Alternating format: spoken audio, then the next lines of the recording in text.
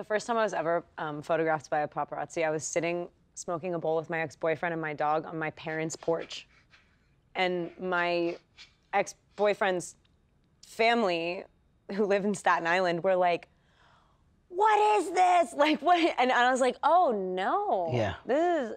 I guess this movie is gonna be like huge." Yeah, yeah.